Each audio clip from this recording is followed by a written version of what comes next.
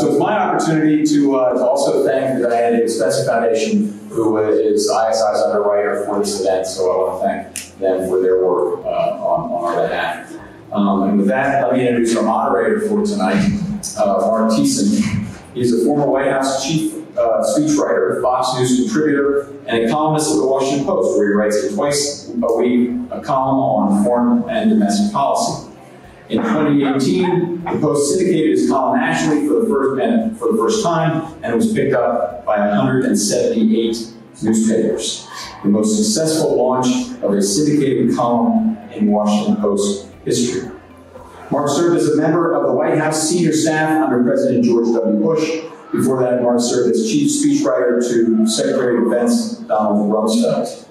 He was in the Pentagon when it was hit on September 11, 2001, and traveled 250,000 miles around the world with uh, Secretary Rumsfeld, including multiple visits to Afghanistan and Iraq.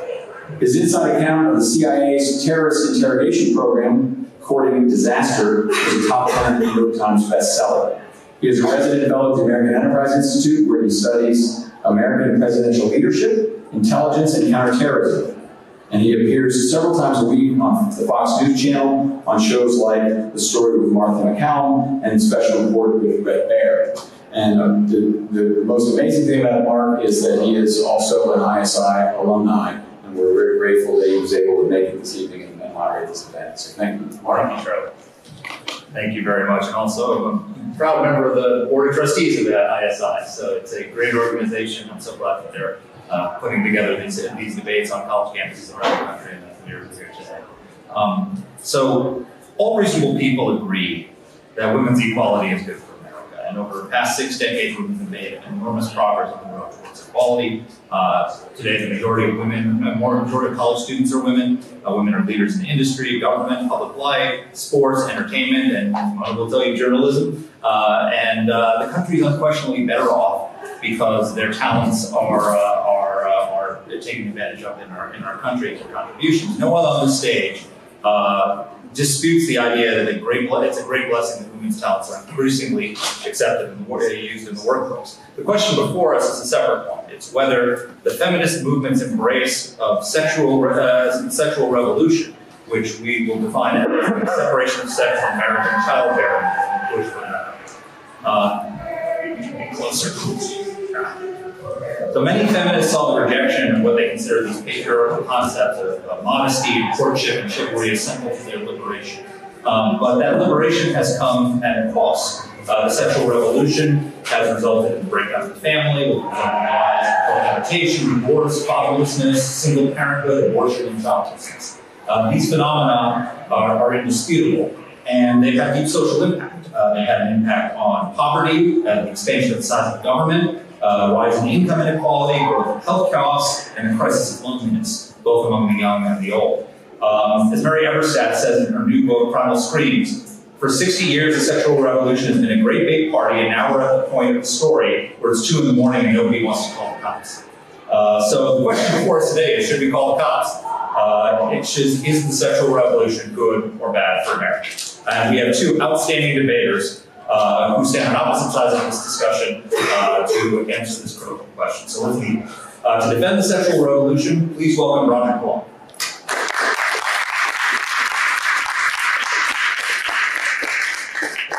hold the Cato Institute's uh, uh, Kenneth B. Simon Chair in Constitutional Studies, which you uh, held since it was established in, in 1998. you joined Cato as a senior fellow in 1988 and served as director of Cato's Center for Constitutional Studies, which you founded, uh, vice president for legal affairs, publisher of Cato's Supreme Court Review, and prior to joining Cato, joining Cato, you held five senior posts in the Reagan administration.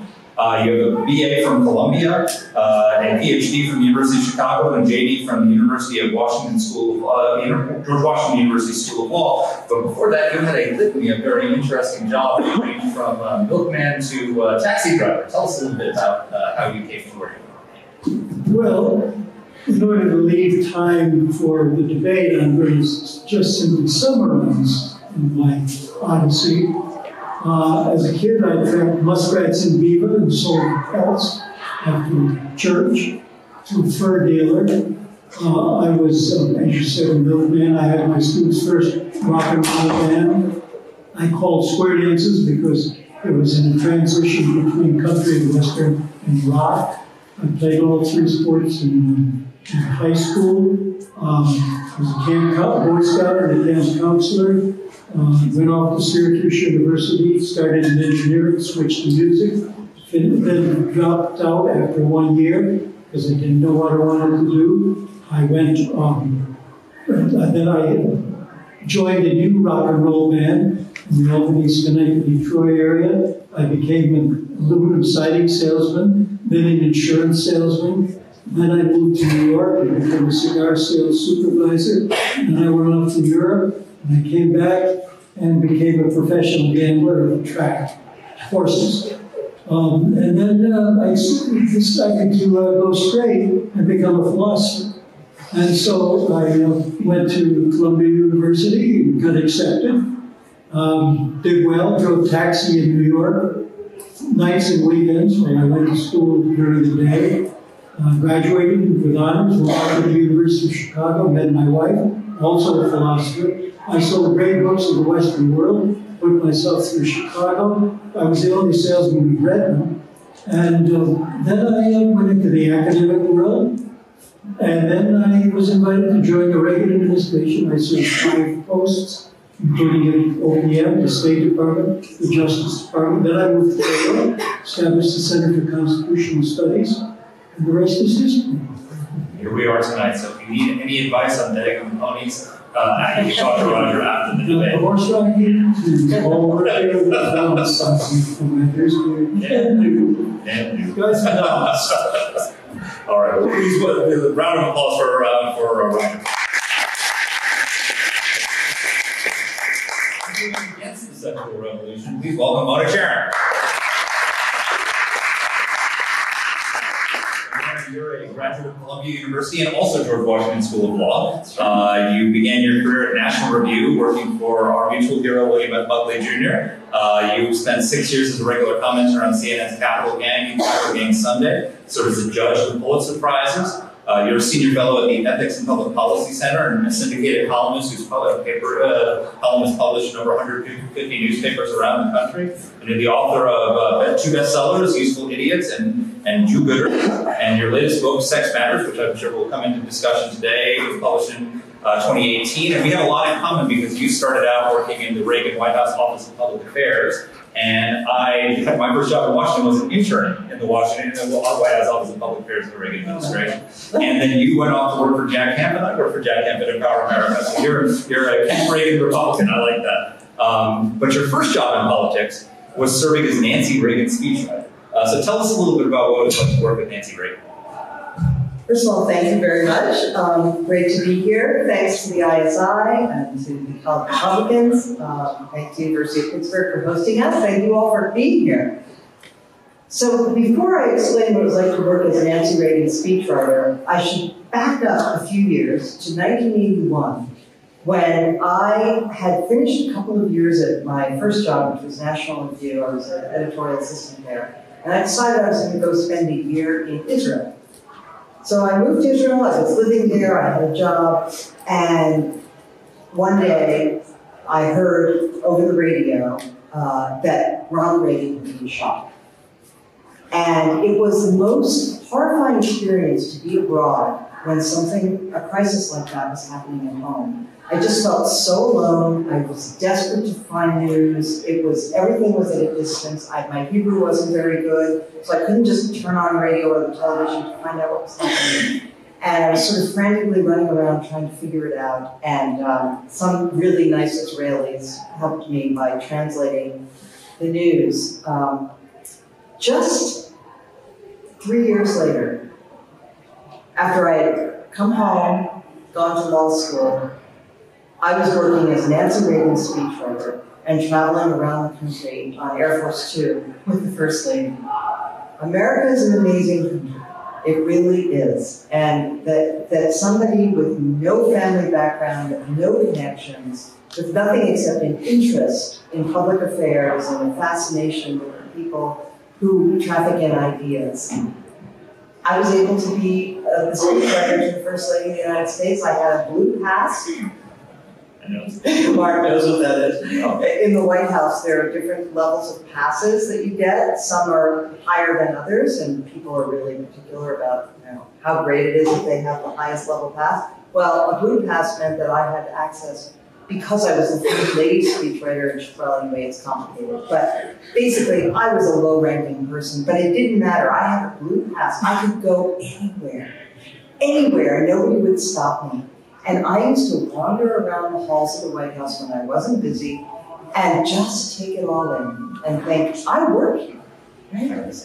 Yeah, it is. It was the most remarkable thing. Nancy Reagan was was great. She was very influential with her husband. They had a fantastic relationship, and uh, it was a it was a, an incomparable experience. I, I after the 1984 campaign, I then went to work for uh, President Reagan. Um, left the First Lady staff, but uh, all in all, it was. Um, it was amazing, and, and it's, it's, as I say, it's a testament to what you can achieve in America coming from nothing. Ladies and gentlemen, round of applause for Mark Chair.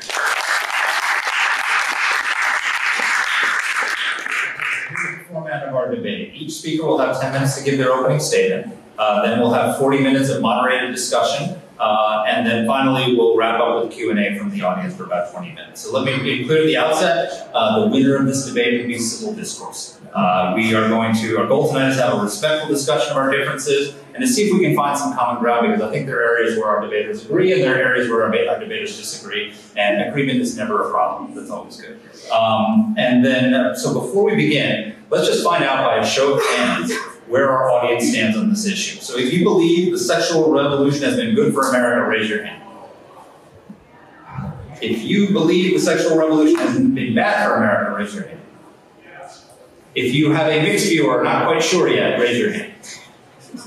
Awesome. There's a lot of Yeah. persuadables here. Yeah. That's great. So at the end of the debate, I'm going to ask the same question and see uh, if, uh, if we moved uh, opinion anywhere. So uh, we're going to turn to you first, Mona. You have 10 minutes to make your case. Okay.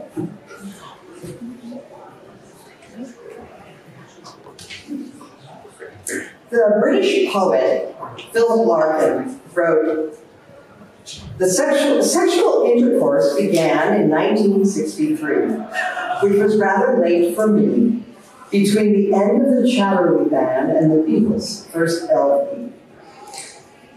Well, the 1950s, which we usually think of as a period of staid respectability, not so much. Um, at the time, the Kinsey Report was flying off shelves. Uh, Peyton Place was very popular, um, and of course Elvis was the great singing sensation. He was pretty racy. now, I'm not here to deny that loosening standards of sexual behavior have brought some benefits to society. And those benefits, like equality for gay people and release from crippling shame for unwed mothers, get a lot of attention. We pay less attention to the high price that we pay for sexual freedom. So let me sketch some of the costs for three groups men, women, and children. For men, sexual revolution would seem to be an unmixed blessing. Freed from centuries of scarcity, men now have access to sex in infinite varieties. As Woody Allen said, pizza is a lot like sex. When it's good, it's really good. When it's bad, it's still pretty good. this is less true for women, by the way, than it is for men, but I will get to that. So men have more sexual opportunities than women. But the changes wrought in society have not overall been so good for men. They are falling behind women in rates of high school graduation. 60% of bachelor's degrees now go to women. Men are more likely to be unemployed, addicted, and alcoholic. They are more likely to commit suicide. They are less likely than in the past to have a strong relationship with their children. And they are more likely to die young than women. Well, what about women? When I was in college in the 1970s, the popular slogan was Chase makes waste. It was the dawn of the sexual revolution, and it was considered a victory for the sisterhood if women used a man for sex. Now today, if you were to plaster something on an elevator in a university saying chaste makes waste, waste, I suspect that this would be considered some sort of violation of sexual propriety, which is interesting. Well, the prevalence of sexual assault charges on American campuses is evidence that the sexual revolution has not turned out to be the utopia its enablers promised. The overwhelming majority of these accusations are leveled by women. Lisa Wade is a sociologist who studied sexual behavior among college students, and she found that when she spoke to women, they felt that they had inherited a right to express their sexuality from the women's movement of the 1960s and 70s. But what they found in the 21st century was really different, just quite disappointing. Quote, they didn't feel like equals on the sexual playground, more like Jonathan's. Also, the Me Too movement is a pent-up howl of protest against the sexual revolution and the complete destruction of rules and mores regarding sex. The women who are stepping forward to object being balked at, catcalled, exposed to pornography, sexted against their wishes, groped, manhandled, and assaulted may think of themselves as expressing feminist self-respect. But another way to look at it is that they are fed up with the anything goes culture that the sexual revolution has bequeathed to them. The reaction of feminist Jessica Valenti to the Aziz Ansari story. By the way, does everybody know about the Aziz Ansari story? Yes? Okay.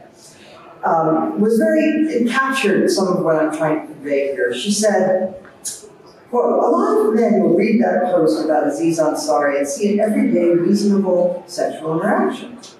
But part of what women are saying right now is that what the culture considers normal sexual encounters are not working for us and are oftentimes The sexual revolutionaries promised that free sex would rid the human race of guilt, shame, jealousy, and inequality. Men and women would enjoy carnal pleasures equally, and the hated double standard would be discarded. But as the Roman poet Horace reminded us, you can drive out nature with a pitchfork, but she still hurries. Human nature is stubborn. Even with freely available abortion and even with the old double standard discredited, women still aren't just like men when it comes to sex. They are more easily hurt, both physically and psychologically. They are more often disappointed. They are more often disgusted and they are more likely to have regrets. Women are also, because of the changes that our society has undertaken in the wake of the sexual revolution, more likely to have trouble to find a marriageable man than in the past. They're more likely to be raising children on their own. At least half a dozen studies of industrialized countries has found that women are less happy than men and less happy than their mothers or grandmothers were at the same stage of life. Finally, the biggest losers from the sexual revolution are children. The decline of the intact two parent family has been a disaster for kids. Both boys and girls suffered from the decline of intact families, but boys more. So in 1965, the illegitimacy rate among whites was 3%, it was about 23% for blacks. In 2013, the rate for blacks had reached 71%, and for whites, 36%. Rate for Hispanics, 53. What this means is that more than half of American kids will spend more than half of their formative years between 0 and 16 with only one parent Fatherlessness, which is mostly what we're experiencing in our society, there are some fathers who raise kids alone, but mostly it's mothers. It's tied to a raft of troubles for grown children. Kids growing up without dads struggle in school, have more emotional distress, and less self confidence. Girls who are fatherless have body image troubles and are more likely to get pregnant as teenagers. Boys in fatherless homes are more likely to get in trouble with the law. About 70% of kids in juvenile detention are from single parent families. So are 75% of youth rapists, 75% of young addicts, and 90% of runaways and homeless children. The teen suicide rate tripled between 1950 and 1990, exactly the period when families were beginning to unravel. And studies have shown close links between teen depression and family structure. And then it turns in on itself. Because boys who grow up without fathers are less likely to attend college or be employed than their sisters who grow up in the same circumstances, there is a decline in marriageable men. By 2023, three women will earn college degrees for two men. And since women like to marry men who have the same amount of education as they do, that presents a problem. Men are declining in their labor force participation, and that presents a problem as well, since most women say they want to marry a man who has a job. We have an epidemic of loneliness. We have the explosion of diseases of despair in this country, which include alcoholism and drug abuse, which has actually caused life expectancy in America to decline. The sexual revolution was about individual choices and freedom from constraint. But some constraints are necessary. When adults fail to practice self control, children pay the price. And when those children grow up, they are less able to practice the kind of habits that make for a good life. Thank you.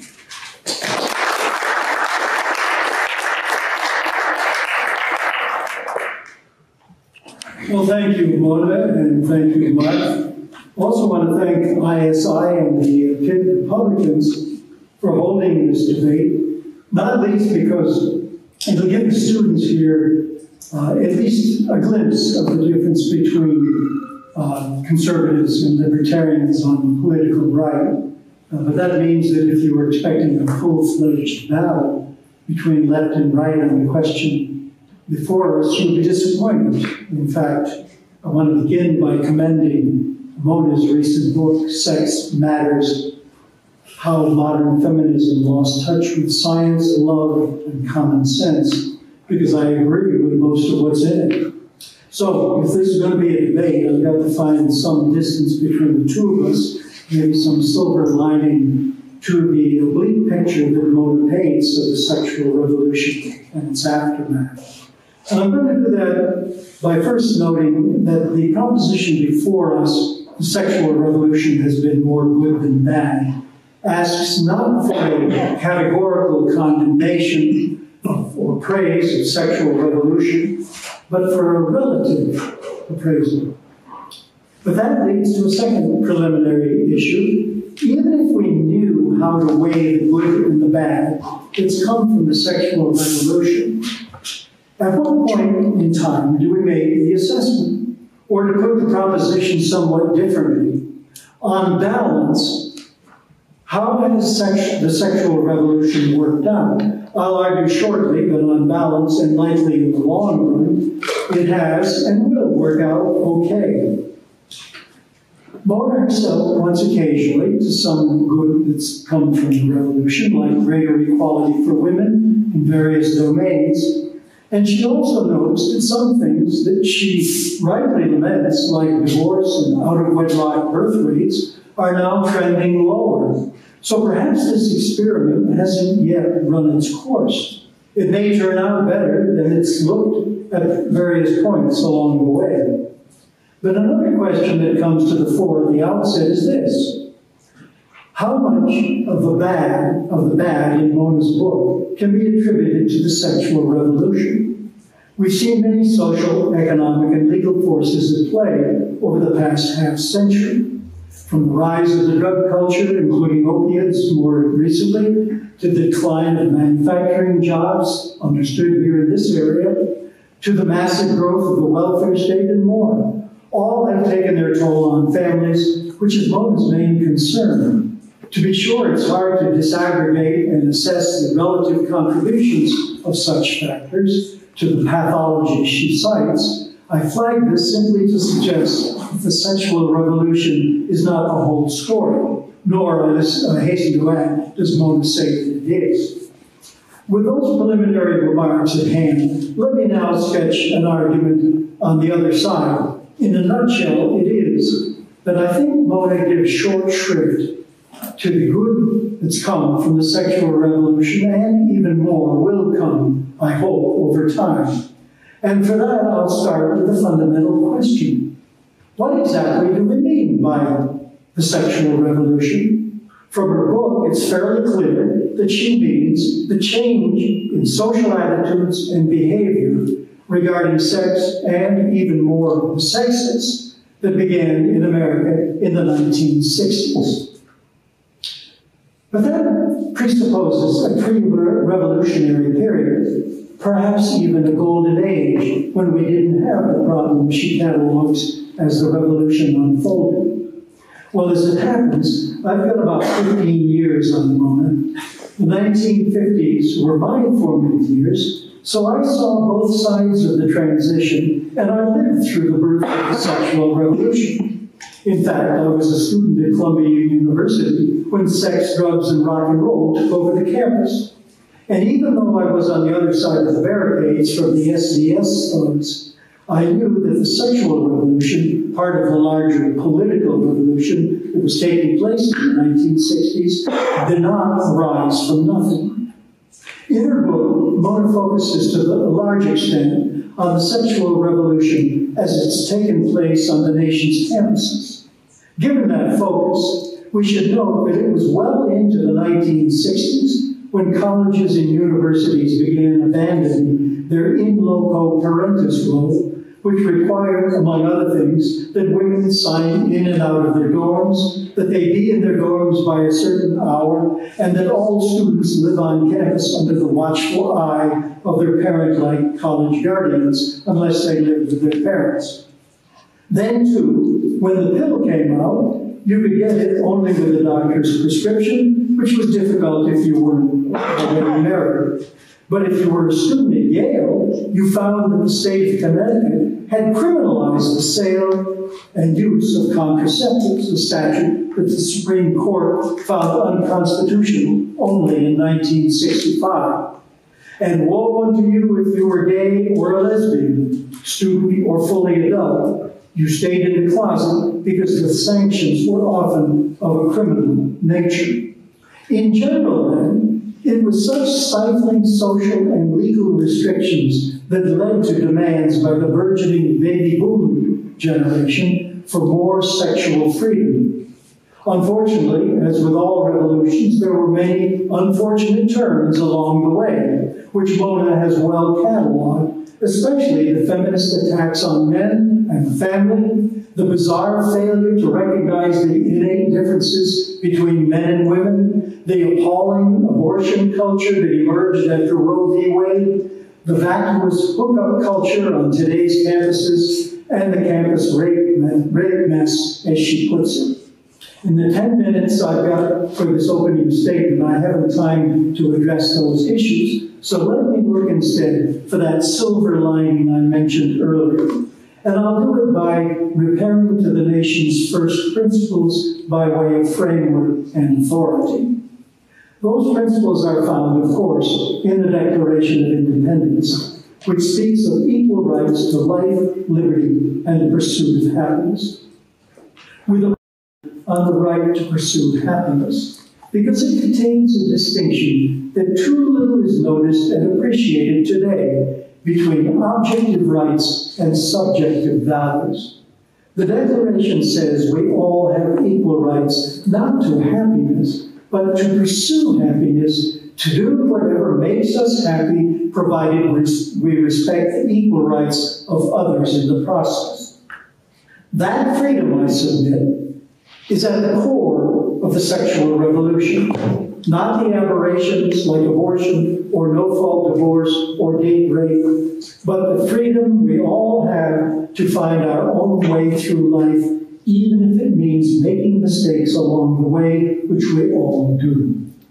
In her opposition to same sex marriage, Mona has challenged that freedom because it leads, she believes, to threatening marriage by redefining it, quote, as a matter of personal fulfillment for adults rather than first and foremost as a stable environment for children, end of quote.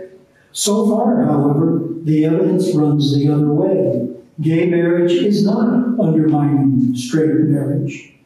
But she learns also, in a broader context, that when it comes to sex, people need rules. She's right, but who's to make those rules? Don't look to government, and Mona doesn't, to her credit, as so many others do. But don't look to ever evolving society either, over which we have little control. Look to yourselves. It's your life. You're in charge, responsible for your own happiness. Life is a learning experience, but we've got to be free to make our own mistakes, to learn from them, to learn the truth that Mona articulates so well, that we flourish and are happiest when we live within the bounds that nature itself imposes on us, which we recognize and respect, for example, the natural differences between men and women. Sometimes we live, sometimes we have to reach bottom before we understand that. Insofar as the sexual revolution helps us to see both that and helps us helps people to have the confidence to take charge of their own lives, it may be yielding more good than bad. Thank you.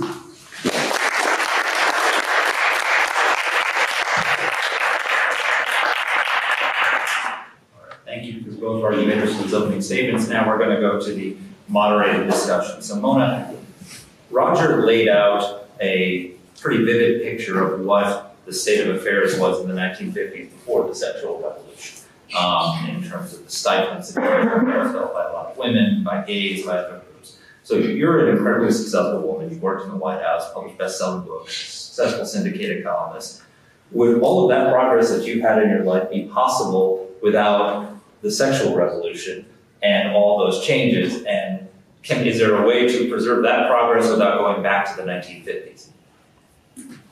Thanks so much. So, um, one of the distinctions that I try to draw in Sex Matters is that between women's progress, which I celebrate and applaud and appreciate, um, all of the changes that have been brought in women's roles and women's opportunities in the world, and the sexual revolution, which I don't think necessarily had to be wedded to the women's movement, to feminism. I think the feminists made a mistake when they signed on with the sexual revolutionaries and made it all part of one thing. I think that we could have had the corner offices and the Senate seats and the uh, seats on the uh, boards of major companies and all the other things um, without agreeing that um, sex would be, uh, you know, that, that men could expect sex uh, just as a, as a as a normal you know expectation on a first date or whatever. Uh, you know the the um, the problem with with sexual revolution from women's perspective is that it actually robs us of autonomy. In the past, one of the great things about the pre-sexual revolution era was that women got support for being able to say no. They got support for being able to say, you know, you cannot expect you, you cannot expect the, uh, a, a date cannot expect sex right away. There was social support for that. Now, if a woman turns a man down, she's seen as insulting him personally. And that's much trickier and uh, unfortunate for women. I'll leave it there. Uh, oh, I do want to just add one thing to what Roger said uh, about gay marriage, because it is true that before the Supreme Court ruling in Obergefell, I opposed the idea of uh, legalizing gay marriage.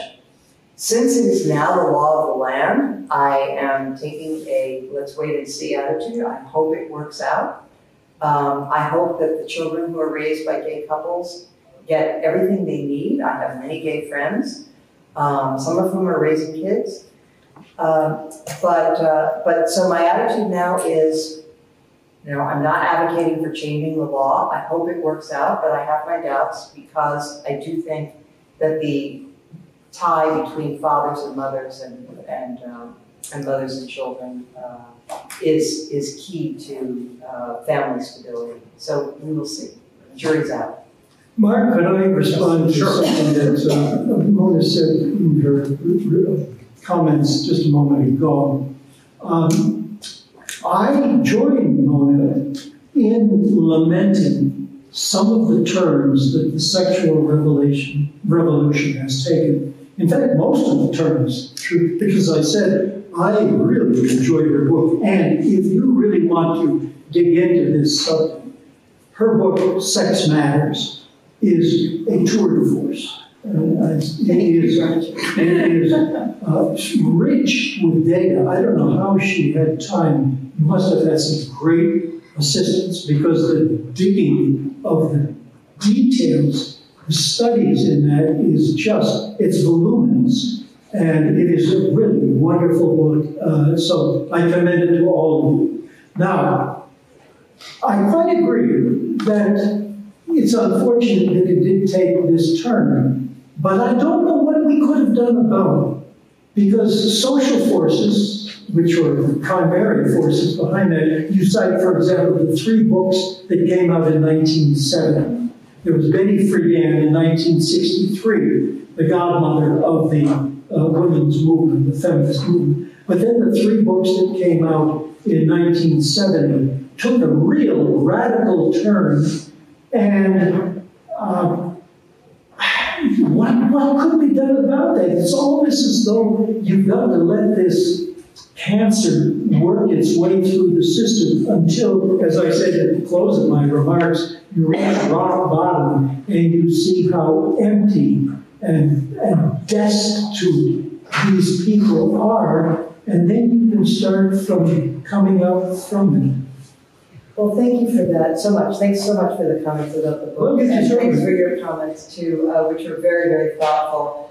Look, um, one of the problems of the sexual revolution is that it, it cemented this separation between love and sex.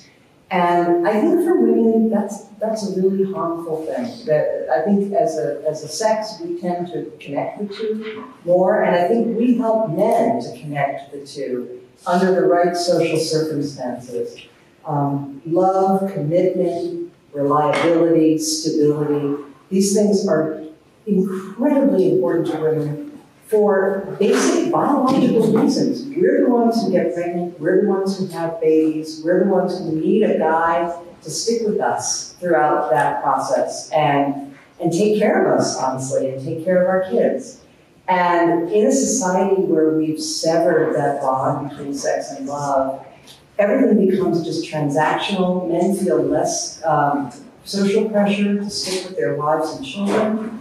And, um, and then the men themselves become lonely and unhappy and unfulfilled, and they're not happy and they don't have connection to their kids. So what I'm arguing for is a revivification of the ideals of fidelity, self-control, sexual restraint um, that used to characterize uh, pre-sexual revolution society. I realize we can't roll back everything, but we can have, you know, homosexuals demanded the right to gay marriage. They want to be married. They want the benefits that marriage confers. I would love to see non-gay people have a renewed appreciation for the importance of marriage in their own lives. So before we, I want to get to the solutions and how we come out of the tailspin.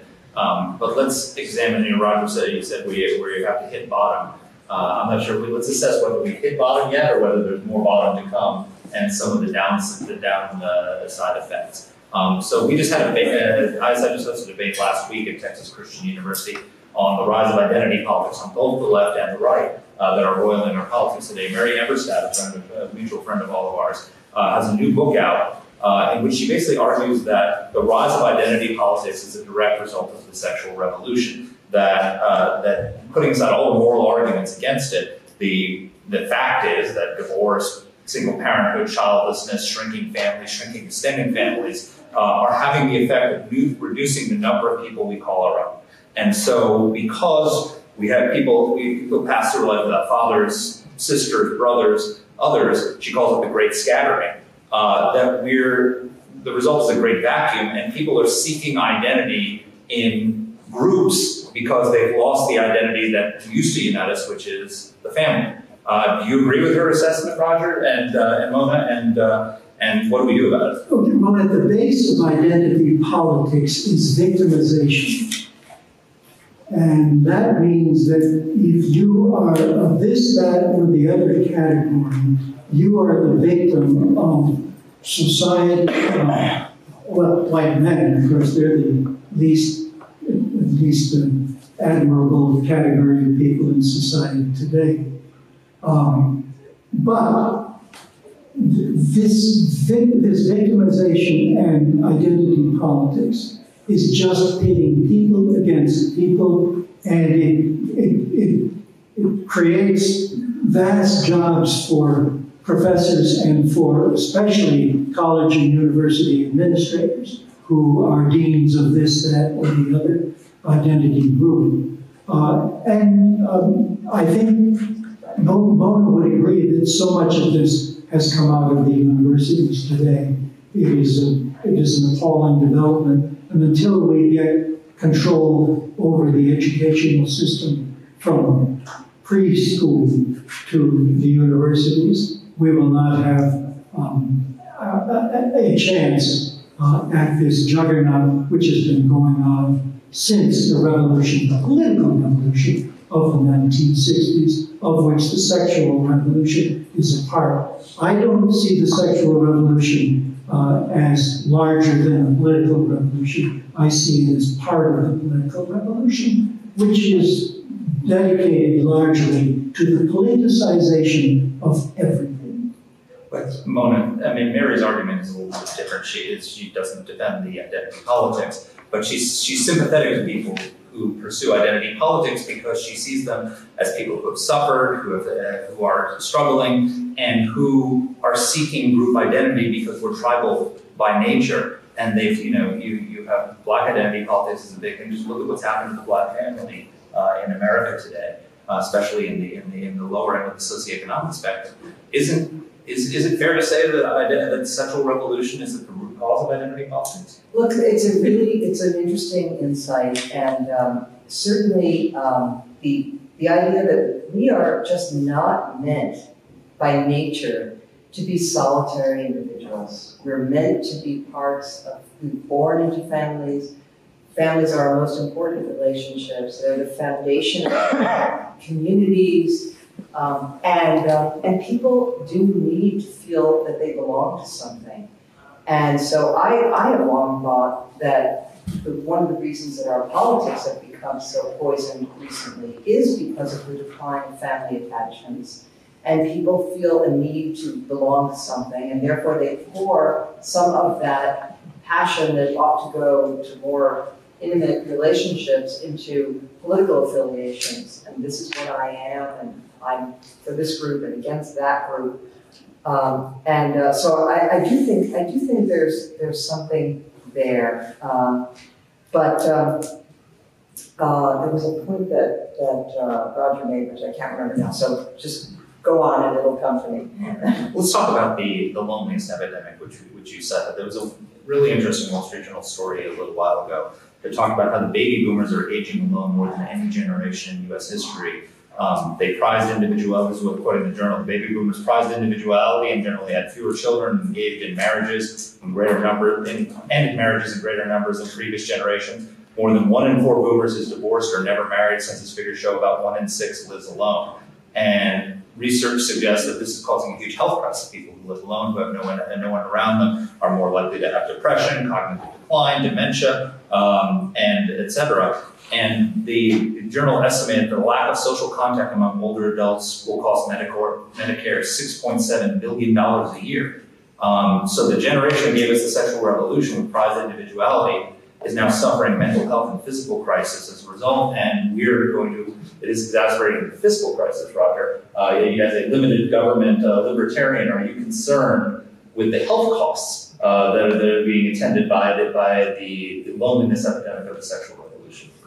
Well, I've been very exercised over the national debt, which is a function of the entitlement problem in America, Medicare, Medicaid, and Social Security. The debt is now going toward $23 trillion. That's with a T.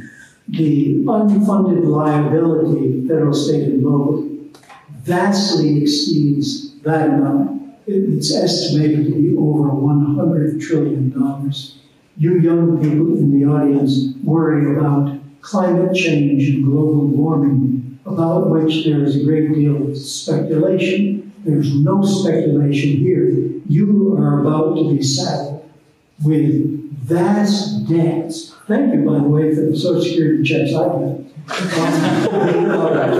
you are about to be saddled with vast debts that uh, there will be only one way to solve. Either address the problem straightforwardly or continue borrowing, at which point you'll have to start printing money. And where that goes, look at Venezuela if you want a textbook example of it.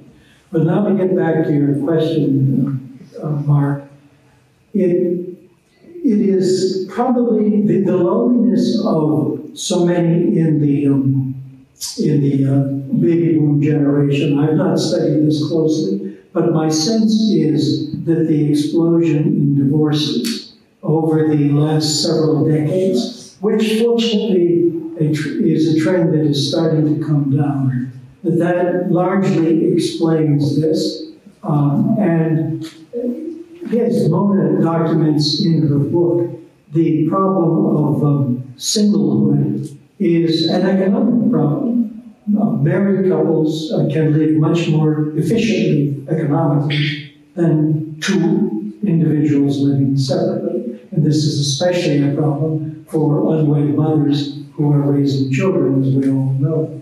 And so uh, it is true that, and this Mona goes into as well in the book, it is true that the, the aspects of the sexual revolution, which uh, were utopian in many respects. The idea of the, um, the, the, the uh, perfect being the enemy of the good has animated a lot of our thinking uh, over the last several decades, and the inability to compromise and make do, to use an old term, uh, with the situation you are in is, to my mind, at the base of so much of the pathology that we see and the uh, baby boom loneliness issue that you pointed to. Mona, you've, you pointed out also that the loneliness epidemic is not just taking place among the elderly, but it's also taking place among the young.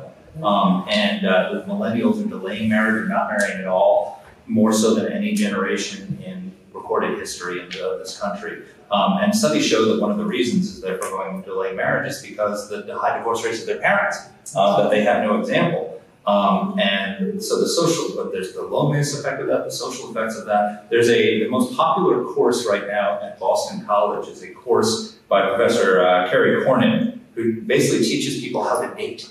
Because the, the, it's, a, it's literally, she, the class assignment is you have to ask somebody out on a date. Uh, you can't do it by text. You have to do it in person. Uh, you have to pay if you're the asker, um, and just basic the basic social script. And it's the most popular course because young people have lost the script uh, because of their gen- because of their generation, and and they're desperate to have. People, there's a they, they don't like the hookup culture. They don't like this. They want to be.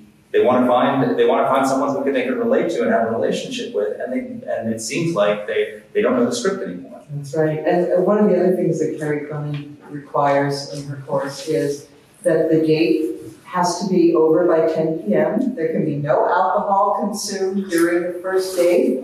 Um, and it cannot be a movie because that precludes conversation. Um, so, you know, a long walk is good, a dinner date, oh, that's all fine, lunch. But, uh, but anyway, the, and the, the kids, uh, the kids love it. She's spoken now at something like 75 different campuses around the country. People are you know, they go to her for advice on dating and, um, and you know, this, this, this is, I think, a, a, a, a signal that about rising force or uh, unwed parenting and so forth. Those don't affect the college educated upper third in our society nearly as much as they affect the lower two thirds. Um, people who come from highly educated families tend to get from the media, from movies, and from the culture in general, books, magazines, everything. And they don't get the message that marriage is really important, that, that, that delaying childbirth until you're married is really important for a successful life, that getting educated is an important uh, life goal. And that's why we see such a divergence in our society between the highly educated who follow this life script that leads to success and stability and happiness, and the others who are falling into very chaotic adult relationships, living together, having a baby with him and then with him, and or, or you know, getting married, getting divorced. Um, and it's it's really a, a problem that is also contributing. The, the sexual revolution has led to a situation where we are exacerbating and aggravating the problems of social inequality. So, Roger, you're a libertarian, you're a limited government, right? Um, and you gave a recent speech, uh, I think to the Federalist Society, where you tracked the rise of government starting with the Progressive era, Keynesian under liberalism, then you get to really uh, under the new left in the 1960s when government uh, really took off and, and grew. Um, one of the isn't one of the impacts of the sexual revolution the growth of the state, because the state has to bankroll the, bro- the broken family. So Amer- African American poverty rate is eight percent among black uh, among uh, sing, uh, I'm sorry married uh, black families. With black single mothers, it's forty six percent. And so the rise of fatherlessness uh, leads to a rise in poverty, which leads to a rise in dependency, and the cause is we have more public welfare, more public housing, Medicaid. Uh, entitlements, food stamps, other public support. So hasn't the re- sexual revolution been a major driver in the growth of government? Yes. Oh, you want me to say more? yes. Uh, good, because this will give me an opportunity to lay on something of a theory of the matter. Um, we live in this country under limited government, individual liberty, and individual responsibility, more or less for 150 years. But at the end of the 19th century, with the rise of progressivism, and into the early decades of the 20th century, we saw a fundamental shift in the climate of ideas in America. The progressives effectively rejected the vision of the founders in limited government, individual liberty, and responsibility. They saw government not as a necessary evil, but as an engine of good, an instrument through which to pursue all manner of social and economic programs. They were social engineers coming from the elite schools of the Northeast. They were looking to European models of good government, Bismarck's social security scheme, and the like. They were looking to, in ethics, to British utilitarianism, which had replaced natural law in ethics and natural rights on which the American system was founded. The idea was that law, policy, judgment were to be justified not with reference to whether they secured our natural and other rights, but rather whether they provided the greatest good for the greatest number. So this is a theory of ethics that lends itself peculiarly to statutory government, not judge-made law deciding cases or controversies before the court, but policy pursued by legislatures and it opened the door for all manner of pursuit of things that one party or the other thought to be good. And that was the beginning of the explosion of legislature and the social welfare programs that you asked about. And it was resisted in the early decades by the court uh, of the early decades of the 20th century. But by the time we get to the New Deal and Roosevelt shifting the focus of the progressives from state level political activism to federal level, we saw the court, the Supreme Court, rejecting Roosevelt's programs. After the landslide election of 1936, when all but two states went for Roosevelt, Roosevelt unveiled his infamous court packing scheme, his threat to pack the court with six new members. Not even Congress would go along with it. Nevertheless, the court got the message. There was the famous switch in time that saved nine, and it began effectively rewriting the Constitution without benefit of constitutional amendment. And it did it in three main steps. It eviscerated the fundamental principle of the Constitution, the idea that Congress has only limited powers, and then it bifurcated the Bill of Rights and it jettisoned the non-delegation doctrine, which led to the modern executive state through which most law today is made. It's not made by Congress, it's made by the 400 some executive branch agencies in Washington today. And that has grown and grown. And as the government grows, people have become more and more dependent on government. And when they do, they lose their sense of individual responsibility. And this has been the pattern for the last 80 to 90 years.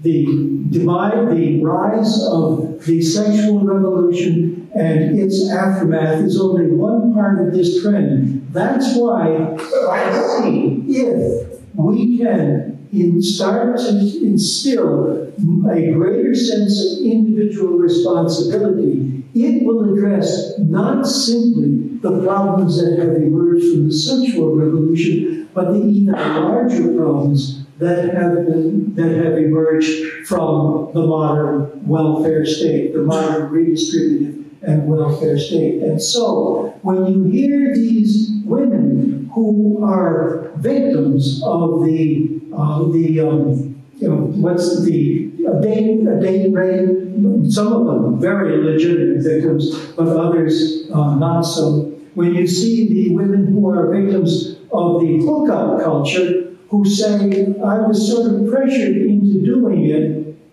the answer is get a hold of yourself. It's your life.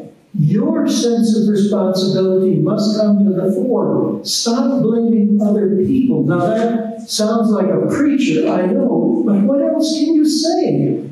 Otherwise, it's a person wallowing in victimization. And that's what we must resist at all costs. It's your life. You live it. You're responsible for it. Don't blame others.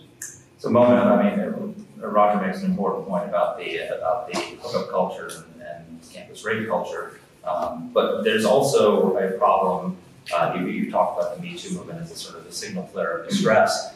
That we also hear a lot about toxic masculinity today, um, and the idea that you know we uh, about half of all children in America are brought up in single-parent homes, mostly raised by women, as you pointed out. That means a large number of boys have no one to teach them how to be men. Um, and so they are, they, you think that the, the sexual revolution is responsible for this increase in male predation, which gets given rise to the Me Too movement as a responsible? I do, and um, let me just uh, let me just agree wholeheartedly with Roger about debt, about about the, uh, the, the decline of our constitutional order. All of that, I emphatically agree with. I would take issue, however, with his characterization of the women victims because um, it's true that there are some women um, who are playing the victim card, if, if you will. Um, but there are many who say, what can you say? And I would say that, that lots of women would say, what we want is for men to take responsibility for themselves and for men to behave ro- properly like gentlemen. And unfortunately, there's very little emphasis in our society about the way men should behave. Um, the, the signals are very mixed, and a lot of them are incredibly negative. Um, I wrote a column defending the Gillette commercial. I don't know how many of you saw that, but a lot of it got a lot of attention. A lot of consumers hated it. They thought it was, you know, sort of playing into the PC world. I didn't think so. I thought it was, you know, it was showing, maybe it's a little slightly PC, but a lot of it was good. It was showing men, you know, responding to bad behavior, loutish behavior on the part of other men, and calling them out. And we need a great deal more of that. Um, yes, women should take responsibility for their choices as well, but, uh, but men very much as, uh, need, need to step up. Uh, Mark, can I just interrupt you? Yeah. No, I, I agree with what you just said, but you know, there comes a point where if a man misbehaves, the woman just slaps him in the face. What's wrong with that? That will wake him up, presumably. Uh, that, those were the days. That, that is, that is what people used to do. It is, but you know, the, the, but one of the things that I, that I um, charge feminists with is denying to women male um, chivalry. Feminists uh, heap scorn on the idea of chivalry. Say we don't need it, you know, I can open my own goddamn door, um, you know, and all of that. And in fact, that was a huge mistake because women need men's protection. They need that sense of honor that men were used to be instilled with, that you would never a years harm a woman, you would never uh, strike a woman. That was why a woman could safely slap a man's face if he got fresh, because she knew he'd been raised never to raise a hand to her in return. That's not true anymore. Obviously, there was always wife beating, and that's a different thing. But, but the, I'm talking about the social mores that have changed. Um, and uh, there's a really interesting book called Motherhood Deferred that was written by a feminist who talked about how, looking back on her life, she realized that it was a mistake to deny that women like and need men's chivalry. That that is part of the dance between the sexes that was good for both. And uh, I thought it was brave of her as a feminist to acknowledge that. So, so Roger, you said in your introduction that we need rules, which I think No, everyone. I quoted motives. Oh, you quoted, okay, so you don't think we need rules. Okay, so we all agree.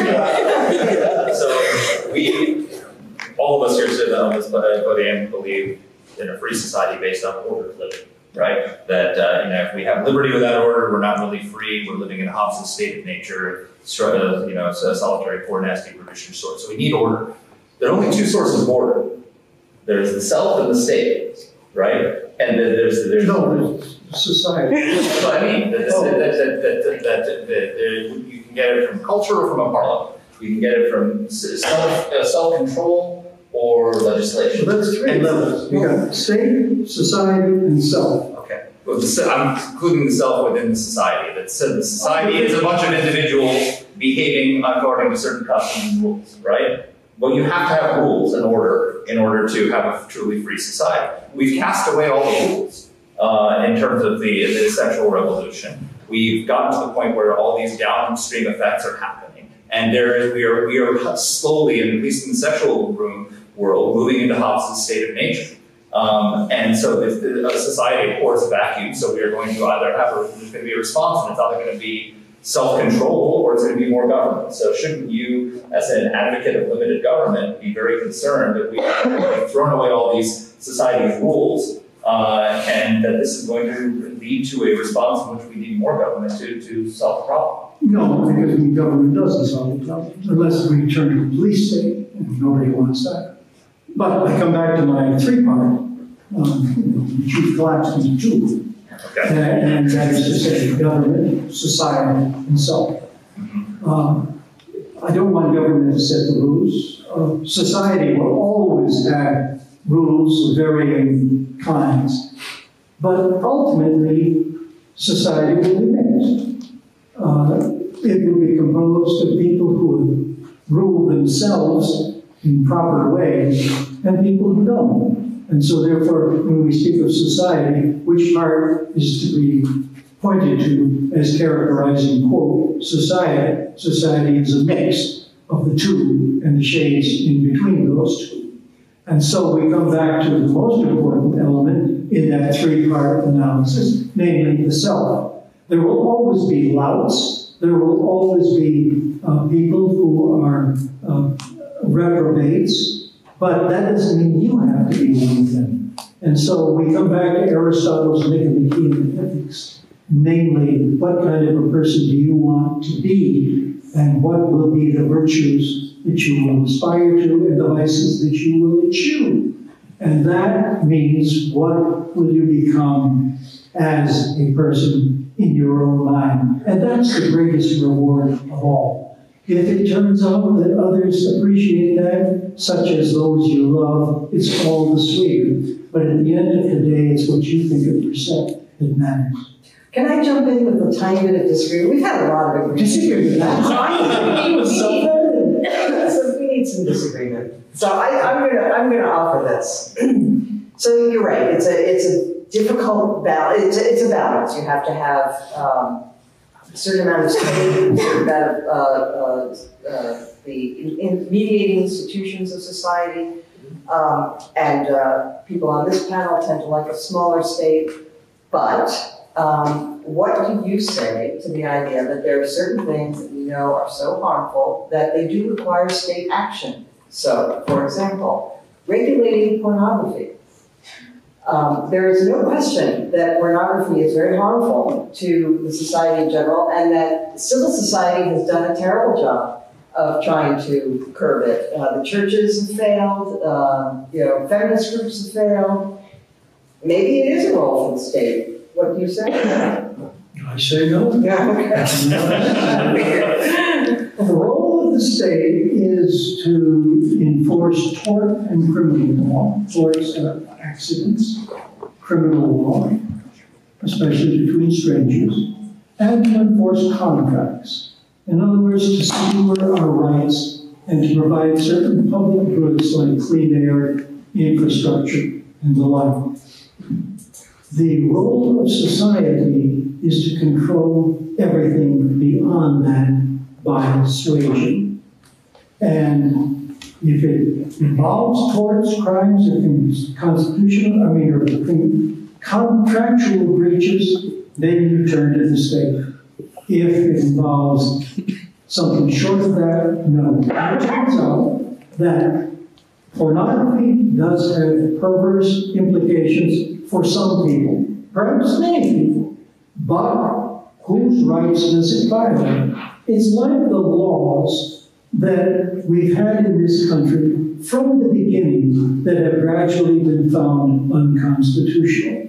There were laws, for example, in colonial times uh, that regulated dress. Uh, with, you couldn't wear loud clothes, for example. Uh, I gave you the case of Griswold v. Connecticut, which criminalized uh, sale and use of contraceptives. Now, there are bad consequences of doing that. Sometimes people uh, will not, uh, people, well, I won't go into that, but in any event, uh, a, uh, there are um, laws that require people to send their children to government schools. Uh, laws that prohibited teaching in the German language. That's a 1923, and the other was a 1925 case. Lots of laws like that. The laws against pornography. Pornography, its production and consumption, does not violate anyone's rights. And that's why the state should not be involved in it, even though there may be harmful consequences in the sense that people become influenced by it. But if you go down that road, you will find Ulysses would be prohibited, as indeed we all know it was, because it was thought salacious. Well, gotcha, gotcha. I would just, I would just say, the slippery slope argument doesn't necessarily um, persuade. Um, you know, there Persuade who? Well, you know, we, we always draw a line. The audience for questions, but are there, we, I think we, both of you agree. Wait, sorry, can I just make a Yes. quick, quick, quick Yes, response to that? absolutely. I, okay, so I would just say, um, you said that the point is that, that pornography violates no one's rights. And I would submit to you that there are lots of laws that we would not want to remove from the books that do not violate any human's rights, but that we like anyway. For example, laws against cruelty to animals. It's a matter of just uh, policing morals, and I'm for it. I am too, and I cannot justify it by securing rights, not animal rights and so forth. I would also prohibit uh, people walking down the street naked. I suppose it depends which people are walking down. Um, But uh, you get my point. Let's, let's, let's close this discussion by talking about the solutions. I think you both agree that there have been, uh, there have been major negative, you've accepted, you've accepted much of Mo's analysis of the impact that the sexual revolution has had on society, fatherless, abortion, and all the rest of it. Um, and it seems like we're, the time has come for a counter-revolution, uh, of some sort. Um, putting aside, how do we do that without involving the state? Uh, you, you for, and, and trying to come to some agreement, you know, Mona, you suggested, for example, that we need a, a campaign to make marriage the norm again, akin to Mothers Against Drunk Drive. Yeah. Uh, that we need a social movement, uh, to, to restore, to, to promote marriage, uh, that re- reconnect sex with love, reconnect sex with marriage and childbearing. Um, how do we do that? Right, so. And would um, you support that? Um, so I, I do think that it requires some kind of a social movement, a recognition of the importance of this institution for our society. I would love to see it as a, a matter of children's welfare and, uh, and of reducing inequality and poverty in our society. Um, because those things are just indisputable. If you go to any major foundation that works with poor people, whether it's the Annie Casey Foundation or many others, and you ask them, you know, what your, your, um, you know, preferred outcome uh, for, for poor families, they would acknowledge that it would be great if more people got, if they, they not say this, but, but if, if, if marriage were the norm. They do agree that married couples um, have much easier lives, much lower rates of poverty, much lower rates of problems for their children. Um, and, um, and so, it, and yet it has, it is, it is controversial to present this as a policy, uh, that, that this is something that we should encourage people to do. Um, Charles Murray put it in very pithy fashion when he said, we need elites to preach what they practice. And I think that would be a great thing. So what I would envision is a national campaign spearheaded by Barack Obama um, and uh, other celebrities. But Barack Obama has been great on this topic. He's given a number of speeches where he's talked about the importance of being a father and the, uh, fulfilling his responsibilities. He was raised by a single mother and, and he feels he suffered for that and so on. I would love to see a, campaign by, by celebrities, by, by public figures, by influential people of all kinds to uh, stress the importance of marriage, to stress the importance of what I mentioned earlier, the success sequence it's called, which is you get your education, then you get married, and then you have children in that, get a job, um, and have children in that order. And if you do that, your chances of living in poverty are less than two percent. So that's what I would like to see. Roger, do you agree? Yes, I do. And I would approach the question that you put to us, Mark, as follows. First, there is there is so much that is wrong with our educational system uh, at every level. Um, at the public school level, um, it doesn't, I don't need to say much more than the fact that public schools are failing vast portions of our population.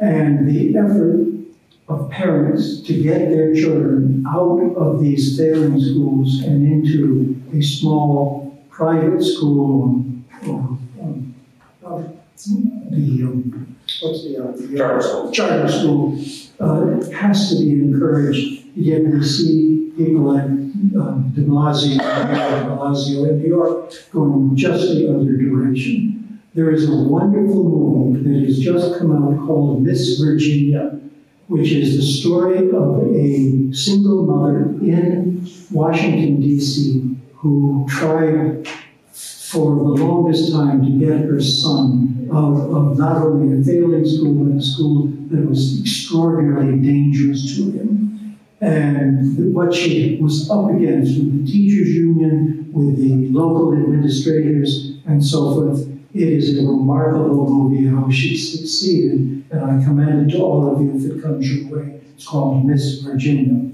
But the second point I would make, beyond the need to privatize education as much as possible so that parents could take charge of the education of their children because they have the greatest interest, interest in doing so. I know what it's like with my kids to deal with the Montgomery County, just outside of Washington, uh, school district. We're talking to the People's Republic of Montgomery County. There are 42, there are 42 elected offices in the county. Everyone is elected by Democrat. It's a one-party county. And so you're, you're talking to a wall you're talking about parents have the greatest interest in the education of their children. They should be able to have a marketplace from which to choose where they send their children. Now, the second point that I will raise in response to your question goes back to the personal element. Mona in her book talks about the problem of adolescent girls in the middle school and high school level who are often uh, unsure of themselves, understandably at that age, uh, and are often um, extraordinarily uh, susceptible to social pressure and to belonging. And I'm sure all of you who have gone through this period know exactly what I'm talking about here. And they are forever uh, subject to being victims to the kind of sexual exploitation that goes on, largely in our schools, but also outside of them as well. Parents, again, consistent with what I said about the interest in their education, have an interest in the moral education of their children and in inspiring in them the self-confidence that would be necessary to stand athwart these pressures and give these girls the fortitude to be able to say no and to stand by that and to say to hell with social pressure and with belonging. I know who I am. I'm going to stand for it and let the chips fall where they may. There is no substitute for the individual in these kinds of situations. Or the family. It's very hard. Or to the do- family. It's very hard to do that without two parent families. Exactly. Oh, there are, there are wonderful stories of single mothers who do indeed inspire you. And this example that I just gave of the Miss Virginia uh, movie is an example of that, of a woman who did inspire in herself the kind of thing that enabled him to transcend this horrible situation he found himself in and to make something of himself. Let's take some questions from the audience. Questions? This gentleman right here. You can stand up and identify yourself. Uh, Good evening. Uh, Thank you both for coming. My name is Paul Anderson. Uh, I have a question for Roger. Uh, It's a little bit tangential to the topic at hand, but you did mention a couple of the Supreme Court's cases from the New Deal era, post-New Deal era. You mentioned how they basically turned federalism on its head uh, and that they got rid of the non-delegation doctrine. But you also seem to quote uh, Griswold versus Connecticut somewhat favorably, even though Griswold versus Connecticut, at least at face value, seems to kind of uh, obliterate state sovereignty with respect to domestic affairs, and it allowed the Supreme Court to intervene in matters such as contraception, even though they don't have history in the um, Bill of Rights or are not present in the text of the Bill of Rights. So I was wondering how you square uh, support for Griswold with opposition to the other New Deal cases. Thank. Yes, you're raising the issue of should courts uh, secure unenumerated rights. Yeah. Well, the Ninth Amendment makes it clear that we have unenumerated rights. It reads, "The rights enumerated in the Constitution shall not be construed to deny." No, uh, three. The enumeration of certain rights in the Constitution shall not be uh, construed to deny or disparage others retained by the people. That amendment uh, is the obverse of the Tenth Amendment, which reads, "The powers not delegated to the United States by the Constitution uh, uh, shall be reserved to the states respectively or to the people." And so when you put those two together, you have a recapitulation of the philosophy that was first set forth in the Declaration of Independence. We have rights both enumerated and unenumerated. The federal government has only those powers.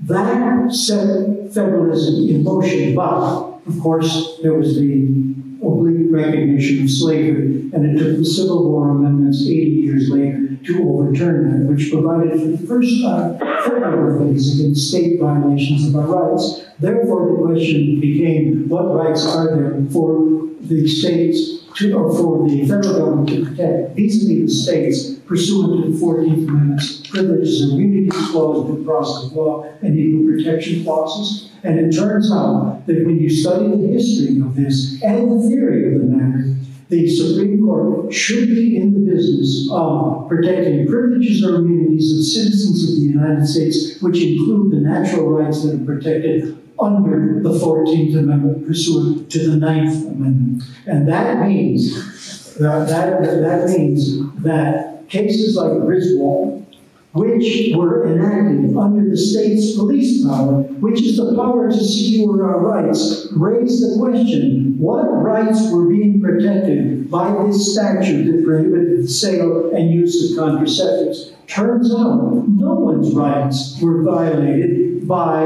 the sale and use of contraceptives. So there was no authority for the state under its police power to pass such a statute. And it falls to the court, which under Marbury v. Madison is the last step in reading the Constitution, to say to the state of Connecticut, you have no power to enact this statute. It's no different than Lochner v. New York or v. Society of Sisters, which involve the uh, pro- prohibition of sending your child to a government school and other cases of that kind. Questions on the sexual revolution.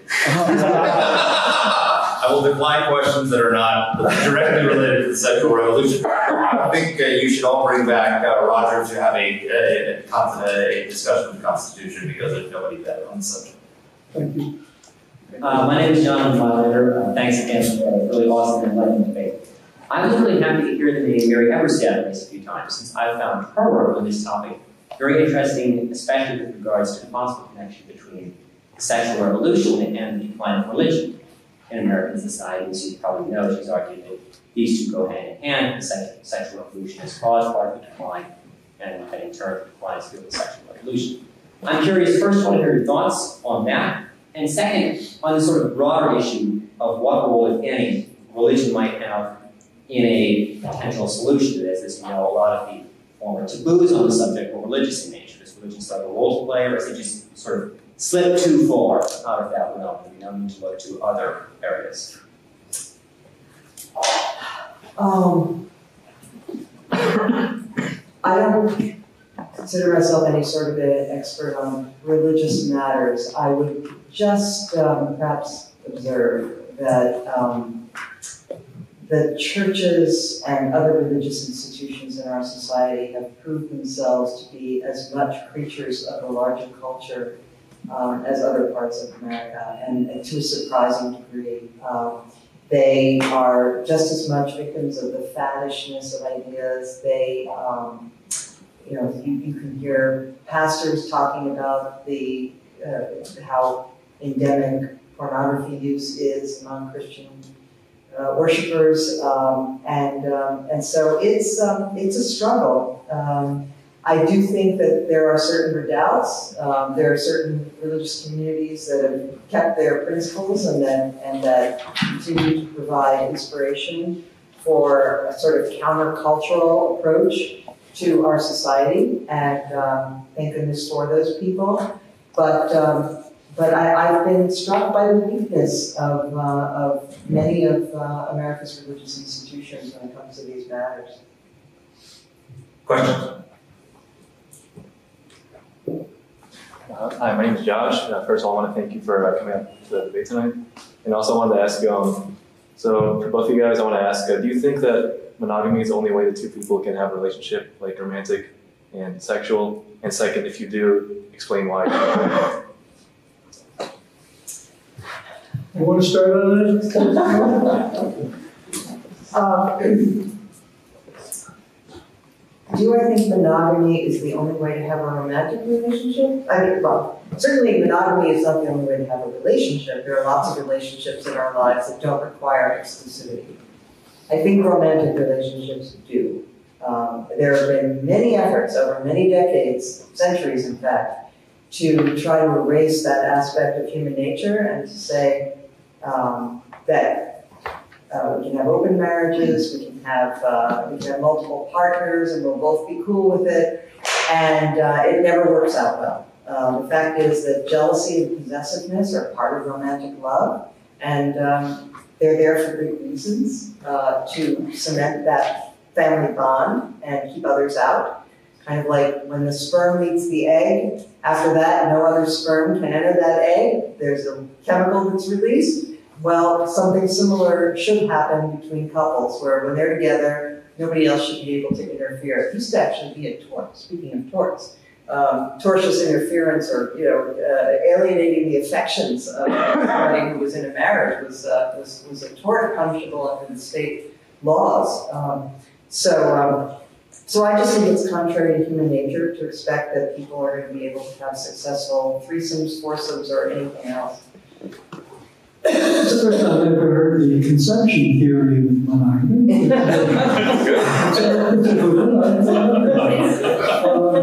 the uh, monogamy, for all the reasons that Mona stated, is uh, is the rule, and polygamy, polyandry, and other variations of that uh, is very much the exception.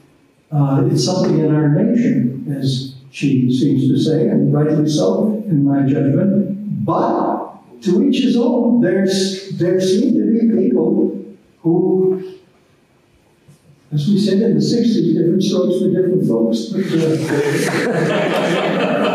uh, Questions? My name is Paul Weiser. Uh, thank you very much for the debate. It was uh, really excellent. Uh, so towards the end, uh, Charles Murray was brought up. Um, and in Coming Apart, he argues that uh, really the divide in America and the source of a lot of problems in America, including some of the issues of um, the, uh, births outside of marriage, uh, divorce rates, uh, single parents, um, are actually accountable to uh, the growing uh, class inequality in America between upper and lower class. Um, so my question would be, is there a correlation here that we perhaps haven't touched on in this debate that um, some of the issues arising from the sexual revolution could actually be um, reduced to issues of um, class and of poverty. Um, is that a fair correlation to draw, or uh, is that too strong a statement? Um, I, I, thought I did address that. I, I talked about the um, distinction between the upper third of our society, which is college educated and they come from intact families, and strong, stronger communities, therefore, because strong families make strong communities. Um, and then the other two thirds of the country where um, there's a lot more chaos in adult relationships, and uh, and that is a huge class divide, and that is something that is partly the consequence of the sexual revolution. Um, it used to be like back in uh, the pre-sexual revolution era, it the, the number of unwed births was very similar in the rich part of town and in the poor part of town. There really wasn't that huge distinction. Now, uh, a high school dropout, something like 60% of women who don't finish high school get pregnant before they get married. And um, the number among um, college educated women is something like 6%. So there's a huge, huge divide. And um, as I was trying to say earlier, I think it is because um, the larger culture, we don't have accepted mores that the whole culture agrees upon anymore. So instead, we have this kind of private coaching from the upper third where they say, you, my kid, are going to do things this way because this leads to success. I'm not saying what our neighbors should do. That's fine. You know, different strokes for different folks. But you, my son or daughter, you're going to do it our way. And for those other kids, where there's no message, where there's kind of a chaotic family situation, where everybody's really afraid to say, by the way, you should really get a job, get an education, and get married before you have kids. Nobody will say that to them. They don't know it. I have talked to some of these kids, and I ask them, did anybody in your life, I talked to this 16 year old girl from a charter school in New York, did anybody in your life ever tell you that it was a good idea to get married and get a job and do all those things, you know, do the success sequence? She said, I never heard of anybody. She was great person. Worship.